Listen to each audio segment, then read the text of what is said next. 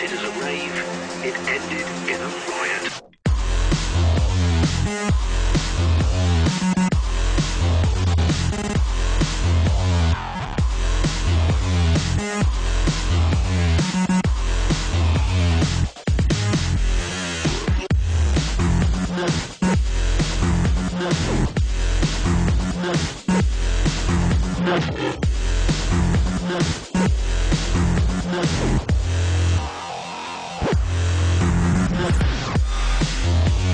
you